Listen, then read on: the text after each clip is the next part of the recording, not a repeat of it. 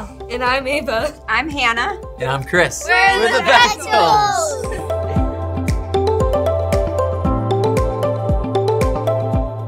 Hi, we are Chris and Hannah Bechtel. We've been married about 17 years and we have four children. Our oldest is Ava, she's 12. Mikkel is 10. Stella is 6. And Bo, our little Bo, is 4 years old. And we love our family of 6. Uh, they're crazy, they're fun, and we love doing life together. Part of doing life together is pursuing the call that God's put upon our lives to start a church in uh, Utah. So we're, we're, headed off to uh, the South Jordan community, and uh, that's one of the fastest growing communities within the state of Utah. Uh, there just happens to be a, a tech boom that's happening. There's families that are there that don't have a life giving church to be a part of. So they're coming in from other states, moving their families. Maybe they're used to a church, maybe they're looking for a church, and there's not enough churches for the amount of people that are moving in. And so we want to be a church that's there and available and ready to meet people where they're at. We don't care about what you look like coming into our doors. Anyone and everyone is welcome. Come as you are, truly. But we want to work at the heart and make sure the heart is taken care of. So, uh, September of next year, 2020, it's our desire to, to start a church, open up the doors to the South Jordan community, uh, which is a suburb of Salt Lake City. And we're going to plant a church. The name is Sego. Sego. Sego Church. Sego Church is, is our church name, and uh, that name comes from really something significant within Utah. So the, the Sego lily is the state flower, and uh, that flower was discovered by, by the Ute Indians, and then they then passed that on to uh, Mormon settlers and showed them really how, how to use the, the actual bulb of, of that lily as, as a source of food during hard times. And so it really is attached to sustenance and uh, and life and, and vitality within within Utah. Yeah, and Sego Church, it's our prayer that it's gonna be a real life giving place, a place that people walk into and feel something different right away. Sego Church exists to inspire people, to disciple people, and to love people. But we can't do that alone, and we don't want to. That's right. Um, I know Hannah hasn't aged a bit, so praise God for that. Just youthfulness. Actually, you probably can see my grays better from here. Uh, well, they're, they're I, there. Now I can see them now. I have glasses now, obviously, so that, that that's changed. Yeah, that was fun. That was fun. Yeah, and we are so man. We the journey has been uh, an absolute blast. Uh, we like to call it a roller coaster. Hannah hates roller coasters, but I keep coming back. Keeps coming more. back. It's strap Can't on. Stop it. But, uh, but but we are excited to be here, and you can look around the room. We have I know we have friends and uh, people that have supported us, that, that, have cheered us on. I have family members that are viewing right now, uh, other friends in, in, different states. That video was produced so we could kind of get the word out and get support rolling and get people praying for us and behind us, cheering us on.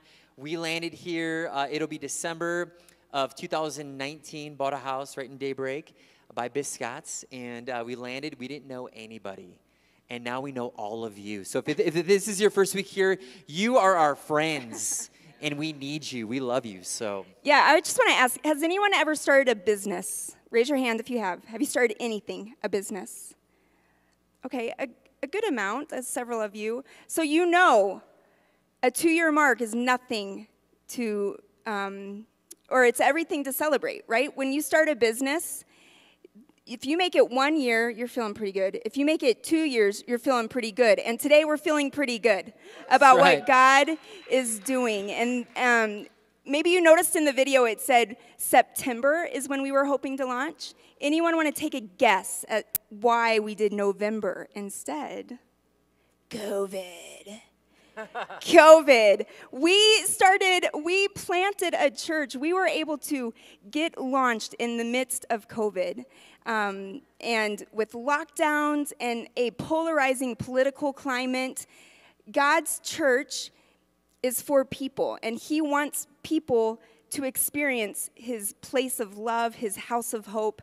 And so, even with all that crazy stuff going, we started and we're still here today. And there have been days where I thought the roller coaster went for a, like a straight head dive, but we're still here. Still here. and I love, as you, as you saw in that video, there, there was we shared a little bit of vision, and I would say that the vision we came with an idea of what Sego was going to be about. and God has iterated it, He's changed it, He's tweaked it, He's added to it. And so, uh, in, in, the best way possible, God has brought the vision to life. Yeah. And I believe God's going to continue just to speak vision into Sego, add elements and again, again, iterations that make us effective here in Utah. So we came from snowy Minnesota. Today feels like Minnesota. It's kind of cold, isn't it? Right? Yeah. So I mean, we came from snowy Minnesota to here, and and and we love where God has planted us. We love the people He's He's called us to reach. And I think today is is this mix of celebration, but also recognizing where we've been, where we're at, and where we're headed. And uh, we're excited to share all that with you today. Yes, so we're going to do that. We're going to share a little bit of some stories. I'm going to ask the people that are sharing to come on up. Um, can you clap for people who are sharing? Because sometimes it takes a lot of guts to get up and share. But Sego Church, it exists to inspire people with God's presence, to disciple with God's truth, and then to lead with God's love. And so we wanted to sh- have um, a couple people share from their own perspective how has that played out in their lives. And so we have Cass here, and um, and then we have there you go, Cass. And then we have Janice and Mylan, Novik. And so they're going to share a little bit. I'm going to ask you to just step forward. I'm just going to move this completely, except for your notes. Yeah, there you go. But you, they got to be up here. So Cass is going to share on um, the thing that we talked about and just how, how has Cass been inspired with God's presence? How's the mission of Sego been? Oh, yeah, that's you. I'm, so, I'm all messed up. I really wanted you to go first, though. No. She's going to go last, though. This is how we do things here. We make it up as we go along.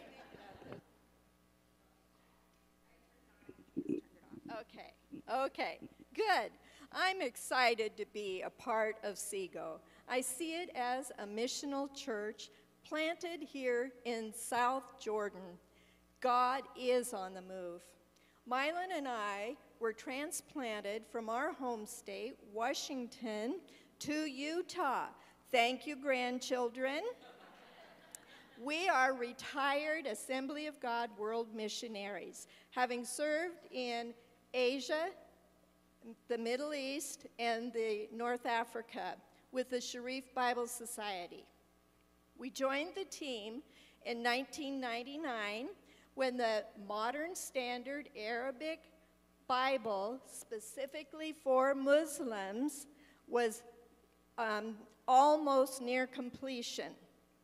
We learned that God's Word in one's heart language speaks to the spirit of a person and opens them up to the truths of God's Word. That is why Wycliffe Bible translators are so powerful in their ministry to the world and they were a part of the team that produced this Sharif Bible. The Holy Spirit knows what our heart language is and what to, it speaks to us. This brings me to how Sego Church inspires me.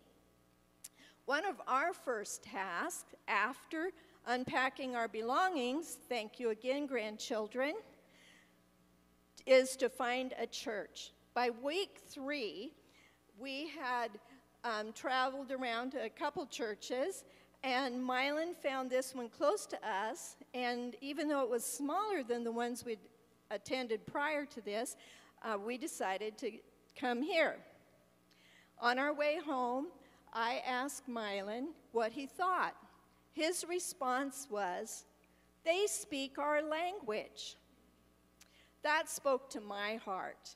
And I knew we had found our church home.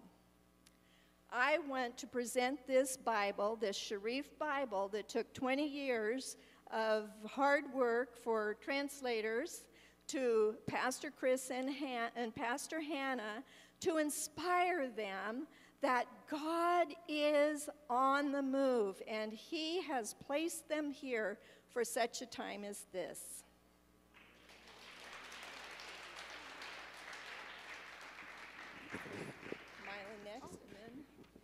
Guys, I'm messing everything up today, and I'm okay with that. Good morning. We are inspired by Sego Church because the eternal Word of God is honored here. In the first verse of the Bible, we read, In the beginning, God created the heavens and the earth. How did he do that? In verse 3, we read, Then God said, Let there be light, and there was light. We find that phrase, Then God said, nine different times in the first chapter of the book of Genesis. In the beginning of time, God created the word, world by his spoken word. As time went on, his spoken word became the written word, and the Bible was translated into various national languages. And in the fullness of time, the word became flesh. In the book of Galatians, we read, But when the fullness of time had come, God sent forth his Son, born of a woman. And in the book of John, we read, And the Word became flesh and dwelt among us. The eternal Word of God has been revealed to us by His spoken Word, His written Word, and His living Word.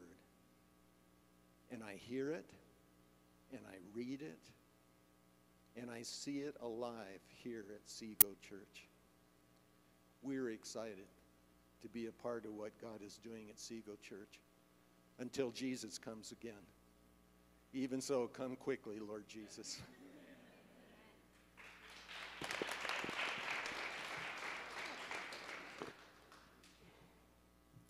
Hello. Hi. um, I'm Cass. Uh, I was actually I am was born and raised here in Utah, and I was also raised LDS slash Mormon. Um, I left that religion almost two years ago, and I became a believer. um, with that has come a lot of relearning. I've been deconstructing all the false truths that I was taught and replacing it with the one and only truth that is words God or God's word and only God's word. After a whole year of prayerfully and purposefully seeking out a church to join that my family and I could plant seeds in and grow with, um, a place to call a church family, the Lord brought us to Sego nine months ago. As a newer believer, reading the Bible for the first time and deconstructing false truths, I had prayed for a church that would only teach from the Word of God a place that could help serve as a strong foundation to continue to build my faith, grow in faith, and help lead others towards Christ. The biggest thing I've enjoyed learning about is who God truly is. Because for me, realizing who Jesus is is essential to under sorry Realizing who Jesus is is essential to understanding what it means to follow him. Every sermon, every teaching at Sego has increased my knowledge and understanding of God's word and the gospel truth. It has provided clarity on areas I was confused and lost in. For example, like I said, um, who God is and salvation, what salvation really is. I trust that anyone teaching at Sego is inspired by God's truth on what they speak on. Listening to the messages taught here, straight from God's word, week after week, has helped me understand uh, that God's word is the ultimate truth and it is unchanging. I know it sounds cheesy, but the truth has truly set me free.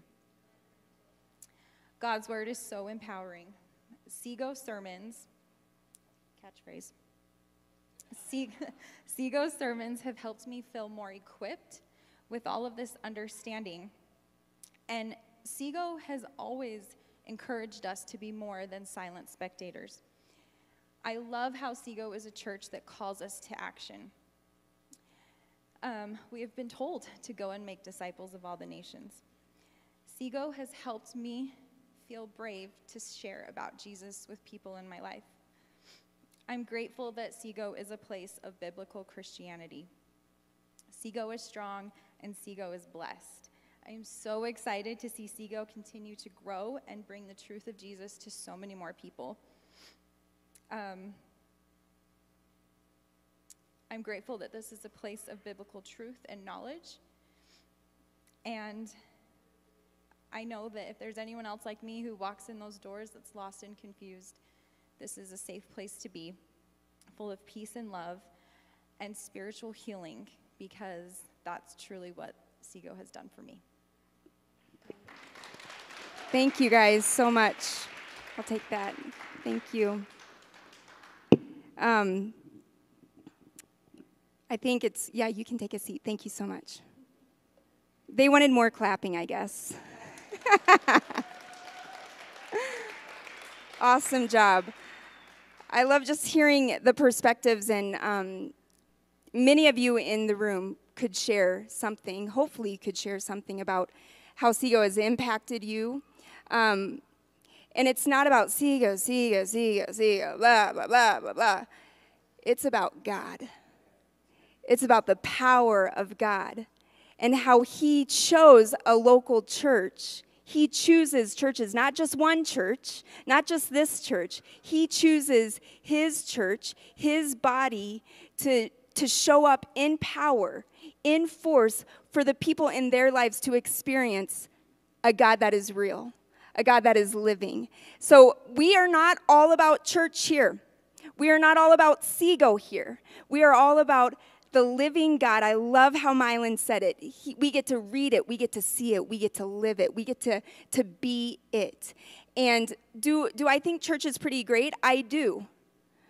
But I think we, being the church, is where it's at.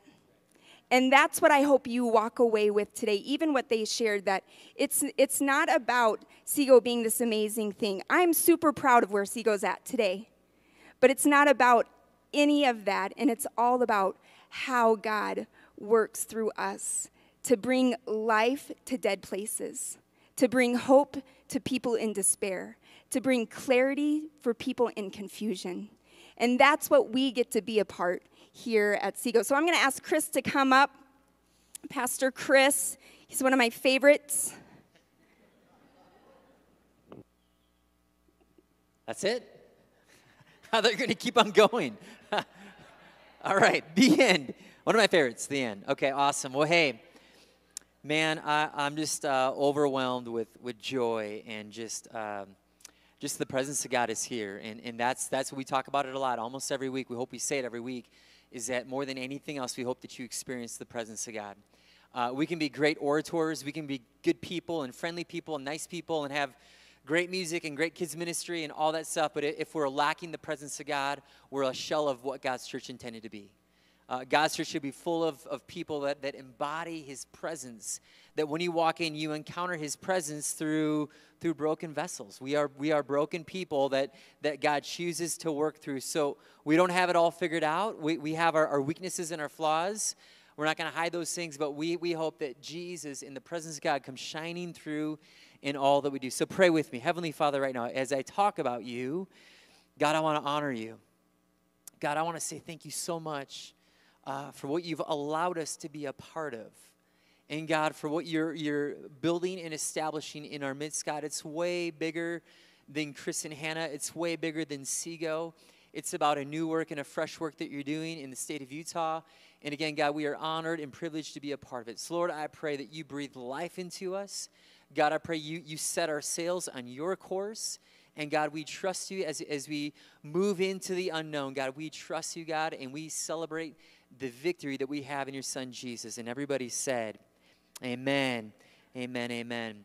Well, hey, as I, as I think about the past few years, and I'm just going to share maybe about 15 minutes. I'm not going to share long, but I want to share just a little bit of a, um, a history lesson, kind of where we're at today and where we feel God has taken us into the future. But when I think about the past two years, I just I have a great big thank you. I have a thank you in my mind, in my heart. There are so many people that have contributed to Sego Church in terms of getting us from, from zero to year two. There's so many people. And, and I just want to say thank you. I have an immense amount of gratitude. We have a few people in the room that were a part of our original church plant team. Again, we came here at no one, and God very quickly assembled an amazing team around us people to support us, to, to be a part of the staff, and to be key leaders. And, and I am so grateful because guess what? The beginning years, uh, how many know birth is graphic? Birth, birth is a little painful and, it, and it's, it's graphic, all right? I was surprised the first birth I was a part of, I'm like, wow, that's how that works, okay? That's a little messy. So, so the starting of, of anything new, it's messy and it's, it's pretty intense. It's not easy, it's painful. And so, I, again, I have an immense amount of gratitude and thankfulness for those that were part of the, the very beginning of Sego because it was messy and it was not easy and it was hard work it was it was heavy carrying and lots of pushing and i'm so so grateful uh, for those that, that were part of that that helped establish the foundation of Sego Church. So we have current uh, uh, staff members, uh, former former leaders, core core families, friends, church leaders, family members, school officials, community community leaders. Uh, I, I honor you today. I sent out about 30 text messages last night just thanking people that were that fit into this category that, that help lay the foundation of Sego. And it's not just a, honorable thing to do, it's the biblical thing to do. We honor the past, honor those that, that have went before us. And, uh, Paul, in Romans chapter 16, he lists out literally 29 different people that were a part of his church planting endeavors that he is thanking by name. And it's, it's something very special. And I'm going to read the first four verses to you because I believe that there's a spirit of honor that we see in Paul's writings and his thank yous to specific people that we want to embody as Sego Church. It says this up on the screen. It's coming. It says this, okay? You can just follow with me. It says this I commend, I commend to you our sister Phoebe, who is a deacon in the church of Cenchrea Welcome her in the Lord as one who is worthy of honor among God's people. Help her in whatever she needs, for she has been helpful to many, and especially to me. Give my greetings to Priscilla and Aquila, this power couple, my co workers in the ministry of Christ Jesus. In fact, they once risked their lives for me. I am thankful for them, to them. So when I read this, Paul is, is sharing a large degree of honor, but he is personalizing his journey with planting churches all across the, the, the regions that, that, that God was sending him to. And so it becomes very personal for me. When I say thank you, when I say I want to honor you, it's very personal. I know that there are families that have risked a lot to make Sego work. I know there's, there's, there's key people in, in my life that have given, that have supported Sego, that have prayed for us in ways that, that, that I can't account for, but it has brought us here to today. And so we honor because it's very personal for what you've done for us. And that, that is really a, a reflection of how the body of Christ should work. It's not this, the church leaders and then the people. It is we are intertwined, we are connected, we are doing it together. One, one can't exist with, with, without the other. And so when we uh, represent the body of Christ, it is this affectionate, honorable way of, of being integrated and it's it's the same playing field. We are we are co-laborers doing this together and we honor one another and we show love. So just as a way of appreciation can we just clap for those that have went before us that have laid the foundation?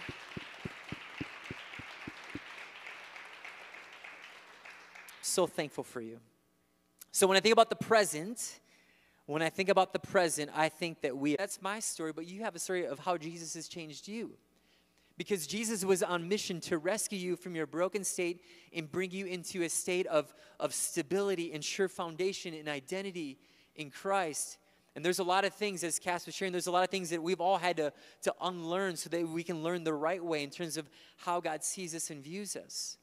But we are on mission because of what Jesus has done for us. And I'll say this nothing will be nothing you do in life will be more important than living on mission for Jesus. Nothing you do in life will be more important than living on mission for Jesus.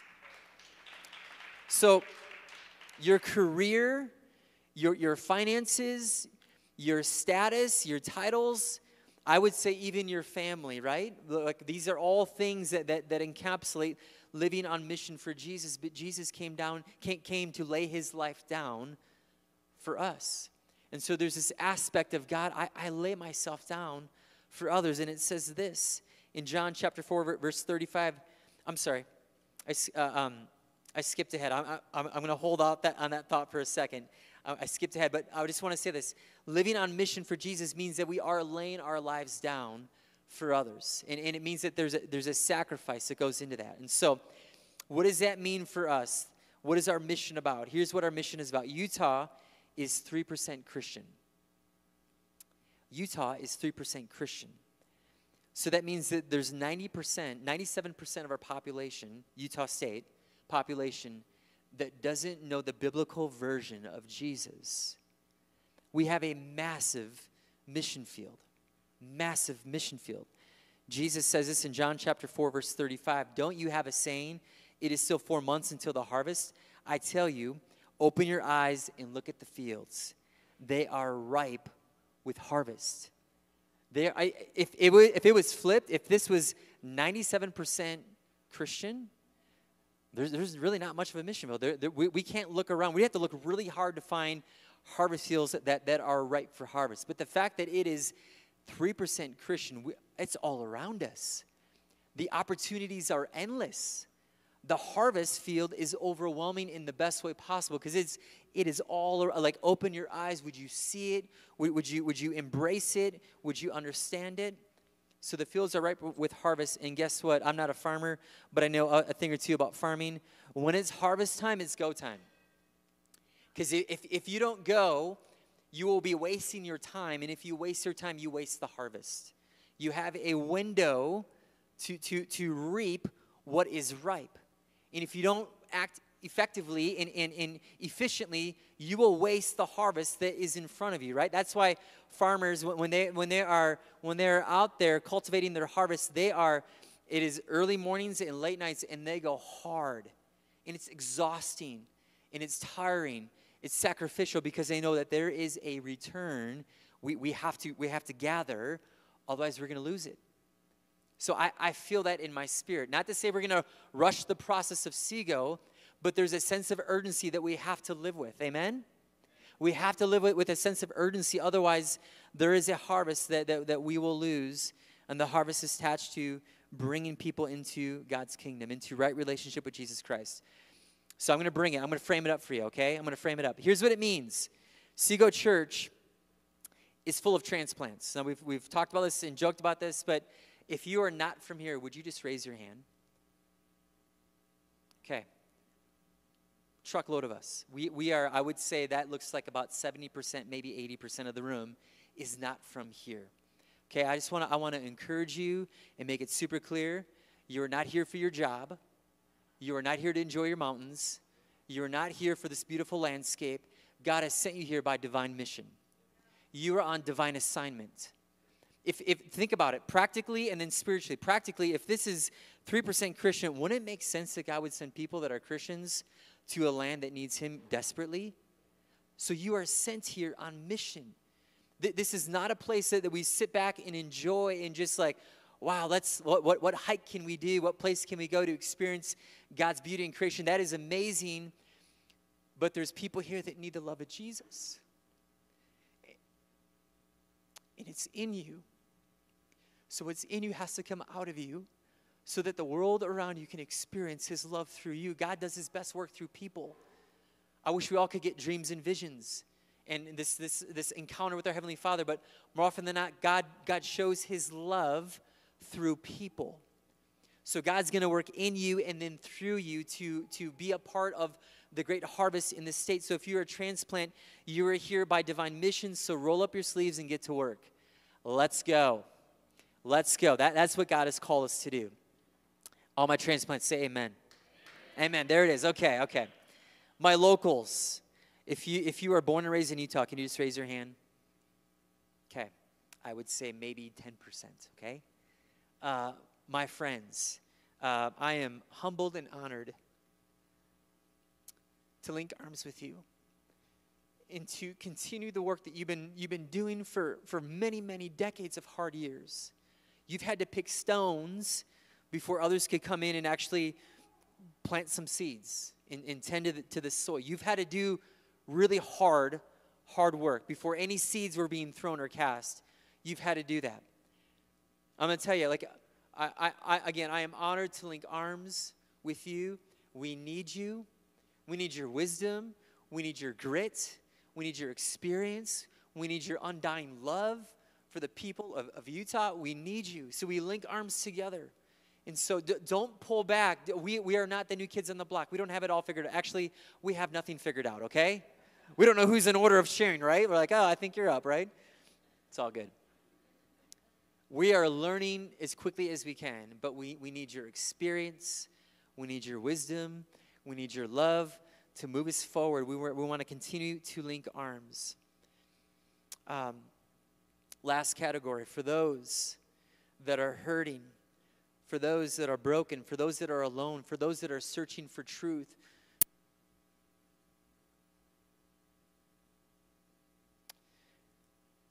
For those coming out of the LDS church, you're our why. You're why we're here. And we didn't fully understand that when we made that video three years ago. But you're our why. You're why we're here. And I can't tell you, like, my heart, it's like when you have a new kid, your heart just grows in a very infinite way for your children. And, and I feel like that's happening in my life. My heart is growing in affection and love for the people of Utah. And get that out of here. and it, thanks, but no thanks. Um, but we are praying for you constantly. And when I say we, I'm, I'm representing Hannah and our staff. Um, you are who God gives me dreams and visions of. When I, when I dream about Sego, I dream with you in mind. I dream with you in mind. I dream about the future. I dream about what we need to do, what we need to establish, what could be, what should be. I dream with you in mind. And, and we're not even close to being done. Again, I feel like we're just getting started, but, but, but that is our heart, that is our why. John 15, verse 13 says this Jesus speaking, There is no greater love. I wanted to share this earlier, I jumped ahead. There is no greater love than to lay down one's life for one's friends. My prayer is that Sego Love would operate with, with a no greater love burden. That, that we would have this no greater love burden, that, that it, there is no greater love than I have than, than to lay down my life for, for Cass and her family, than, than to lay down my life for, for Terry and her family, and, and others that have found Sego. There's no greater love that, that I can have than to come and say, Jesus, I lay it all, I lay it all on the table, I lay it all down so that those that are searching for you, Jesus, may find you. I lay it all down. No greater love burden. We got to have this no greater love burden if we're going to accomplish the things that God has asked us to do. We had a neighbor friend who fits in this last category uh, over the other night with, with Jeff and Allie, and we had great conversations, but he is searching for the truth. His heart is open, but it's been wounded, it's been betrayed, it's been, it's been used and abused, and he is searching for the truth, but it's like he's open, but he's not, right? And I pray, I pray for my friend. I love my friend. And, and I want him to, to someday walk into this place and not experience any of this, but experience all of Jesus. Right? Because that's what's going to change the hardness and the hurt and the brokenness. That's what's going to happen. It's Jesus through us, not us. Jesus through us. And so we all have people that God has placed us in proximity with that desperately need to experience the love of Jesus and the no greater love mentality that Jesus has come here for and given us to operate with. So, the future. The future. We have victory in Jesus' name. That's when I think about the future, I think about the victory that we have in Jesus' name. And that is our 2023 theme. We're just going to tease it out every year at this time because we're so close to the actual new year as we celebrate our birthday. Our theme for 2023 is victory. It's victory. I'm going to have Hannah come on up. It's victory. And I'll, I'll tell you what, here's one thing about victory. Uh, it's, it's, about, it's about what has already been done for us. We have victory because Jesus has won the victory for us. Hannah, where'd you go? There she is. Um, don't leave me. Uh, we, we have victory because of what Jesus has done for us. And here's the reality because we've lived in it, we've experienced it. You have, I have, Sego has. There's battles all around us. We're doing a series on warfare, spiritual warfare. We are, we are on the battlefield. No matter where you live, if you're watching online, my friends, family, we love you. You are on a battlefield. And, and when you're on the battlefield, you're going to win some and you're going to lose some. We've won some battles and we've lost some battles. Extremely painful battles, right? But guess what? The victory has already been won. The, the war has been won because of what Jesus has done for us. So I can lose a battle and not be defeated. I can lose a battle and walk into the next battle and say, you know what? That wasn't enjoyable. But let's step into the new battle and let's let's have a sense of victory because Jesus has walked us into every battle with a sense of victory. And so uh, part of part of what we're doing, Hannah, can you just come around here? Yeah, turn around. I know. Just look at her back. Only her back, okay? Just just your back, right? Just your back. Draw attention to it by doing that, right? Um, can you turn around again, please? I told you you're going to be my prop. So when you think about this logo, there is this is a, a victor's wreath. It's up there on the screen as well. This is a victor's wreath, and you see inspire, disciple, lead. That is our core value, or I'm sorry, uh, part of our mission and purpose right there. Inspire with God's presence, disciple in God's truth, lead with God's love. These three things are the banner over Sego Church, what we want to be about. Okay, you can turn around. But there is a sense of, of victory that we're going to operate with. And, and in, in ancient Greek days, athletes would receive a victor's crown for their accomplishments, and it represented victory. And, and, and kings would, would eventually took on this, this idea of like, hey, we want to have these, these victor's crown because it represents our power and authority and supremacy. We are rulers of it all. And so, so we, we see this, this victor's wreath that, that is encompassing Sego Church and it's very intentional. We're not changing our logo. We're having this is a little iteration. But as we step into this new year of, of life and, and then step into 2023, guess what? Sego Church is encompassed, surrounded in victory. The victory of Jesus. Because that's what Jesus has given us. So why don't we just put it on? And, and just act like, you know, we are victors in Jesus Christ. Go ahead, clap.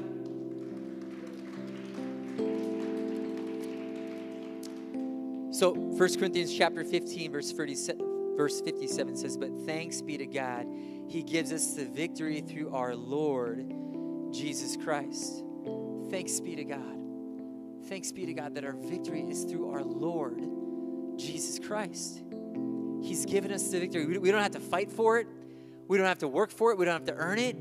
He's just given it to us. His sons and daughters adopted into his, his lordship, his, his sonship and daughtership. We are given this mentality of victory. And here's, here's how it's played out. I'm going to close with this Jesus was mocked and ridiculed and given the title King of the Jews. And when the Roman soldiers put that title on Jesus, what did they put on his head?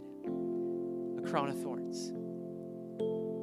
Jesus endured mock, mocking and ridicule and harassment People thought he was crazy. He had this, this fake crown of thorns, like, oh, you, you want a real crown? We're going to give you a crown. Crown of thorns. Jesus put on the crown of thorns so that we could put on the crown of victory. We don't have to, we don't have to live in pain, in anguish, and suffering. We process through that with the crown of victory that Jesus has given us churches, finding a church, being a part of a church is extremely important um, for a, a, variety of practical reasons, but there's also spiritual reasons. And as I think about Sego, I just want to I want to share something with you as we wrap up.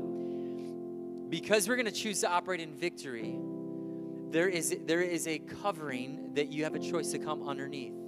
So when you attach yourself to a local church, you're saying, I believe in who they are, their mission, their vision, and I come underneath their covering spiritually, right? I do that for my house and my kids. Men, men in the church, ladies that, that are helping lead your family with your husbands, like there is a spiritual covering that you are creating as, as people come underneath your kids come underneath your house they are they're underneath your covering and that's a very real and serious spiritual thing it's also it's also in a, in a church dynamic so here's my prayer for you that as you come underneath the covering of Sego Church, that there would be a canopy of victory over your life. That there, there would be just a covering of breakthrough, of even though there's adversity and battles you're going to step into, that, that, that God would create a covering as you come underneath this mantra and the covering of Jesus Christ at Sego Church, that, that you would operate in victory in this year. Amen? So we're going to stand together. And I want to pray that over you. And I know we have some friends. I actually invited a lot of people to church today. So I got some friends in the room that I'm thankful that they came. This is not a, a anything other than we're just representing who God has called us to be. Thank you for being here and supporting us. But very simply, can you just close your eyes and, and just lift out your hands like you're about to receive something? I want to pray victory over your life. So, Heavenly Father, I thank you that victory is not a Sego thing, it's a Jesus thing. And I thank you that, Jesus, we all have equal opportunity to experience the victory that you've given us. What you did on the cross, Jesus, what you did on the grave, and then what you did when you resurrected is a beautiful thing that no other God can, can, can put himself uh, attributed to those things. But Jesus, you can. You give life, and you give life abundantly. So, in that life that we find in you, Jesus, we choose to operate with victory. So, I, I pray for every family, I pray for every individual where there has been defeat Lord, I pray victory. Where there has been illness, I pray health and I pray victory. Where there has been brokenness, Jesus, I pray that you supernaturally mend it together and I pray victory. I pray for every marriage in the room. Lord, I pray for, for all, the, all the disconnects and the hardships and the hard conversations. We all got them as married people. But Lord, I pray that there be a, a supernatural binding together that these families, that these husbands and wives can, can step into victory, that we are united, a united front moving forward in what God has called us to be and to do. We are victorious. Therefore, our kids and our families get to be victorious. I pray for every young person in the room. I pray for all of our kids. God, we know that the enemy comes to steal, kill, and destroy. And so, where, where, where there is death, where there is enemy speaking lies, where he's trying to steal identity and purpose, Jesus, we speak life and life abundantly. We speak protection, a hedge of protection. We, we, we, we speak victory over these children, that they would step into who they are. They would step into their schools, into their neighborhoods with a sense of protection from King Jesus, and that victory would be upon them. Father God, I pray that Sego, that God, this would be a banner year marked by your goodness, marked by your love, marked by your victory. And we exist all for your glory and all for your honor. Be glorified, King Jesus, in all that we do. In your precious name, amen and amen. Can we clap for King Jesus? Amen. Amen. This has um, been a great Sunday. It's been a great Sunday celebrating. It's been a great Sunday worshiping. And we were going to end with a certain song, and I'm just not, I just don't think that's the song we're supposed to end with. So um, we're going to end with the first song that we sang, Chain Reaction, because I think it's a beautiful um, way to describe what Chris just talked about. To be a church, we start chain reaction. So let's get ready, put your hands together. Because of who we are in Christ, we are a new creation We get to live a life full of joy and hope.